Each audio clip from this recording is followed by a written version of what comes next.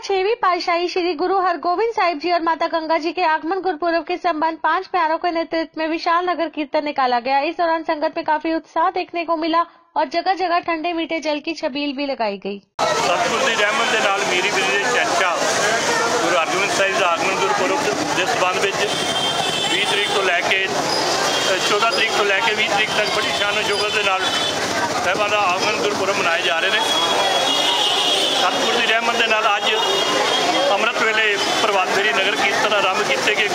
ਗੁਰਦੁਆਰਾ ਛੇਵੀਂ ਪਾਤਸ਼ਾਹੀ ਤੋਂ ਵੱਖ-ਵੱਖ ਬਾਜ਼ਾਰਾਂ ਤੋਂ ਹੁੰਦਾ ਆ ਨਗਰ ਕੀਰਤਨ ਵਾਪਸ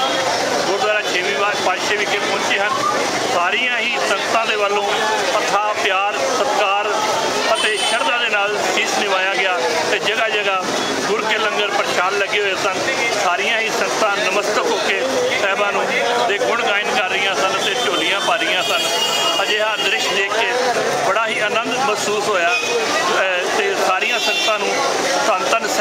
ਧੰਨ ਧੰਨ ਸਾਹਿਬ ਸ੍ਰੀ ਦੇ ਆਗਮਨ ਗੁਰਪੁਰਬ ਦੀਆਂ